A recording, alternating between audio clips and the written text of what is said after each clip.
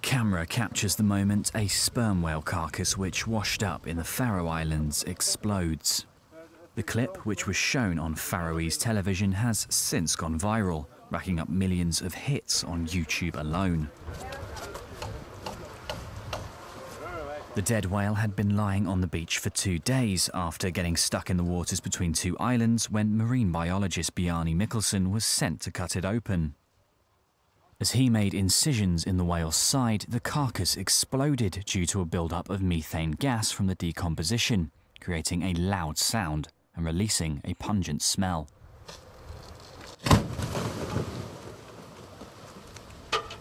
It is reported that a local museum will collect the skeleton and put it on display.